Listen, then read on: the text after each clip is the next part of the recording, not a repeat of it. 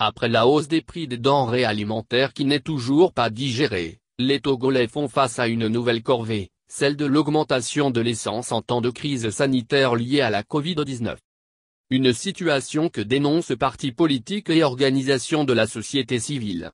La génération d'impact, J, n'étant du reste, se ligue également contre ces décisions maladroites, comme le disent certains observateurs, qui saignent davantage la population togolaise.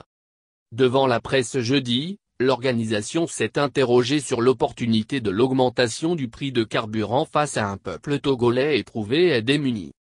Même si le gouvernement togolais justifie cette augmentation par une subvention du prix du carburant à la pompe et que cette démarche conduit à un manque à gagner, l'AGI se demande à quoi sert l'argent gagné par l'État togolais si ce n'est pour financer les besoins collectifs des populations.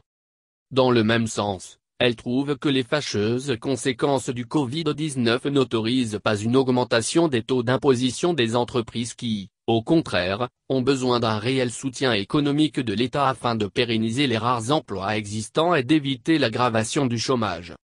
À cet effet, la génération d'impact souhaite que le gouvernement revoie les moyens de résilience étatique ainsi que son train de vie en évitant des dépenses de prestige, des missions gouvernementales non indispensables.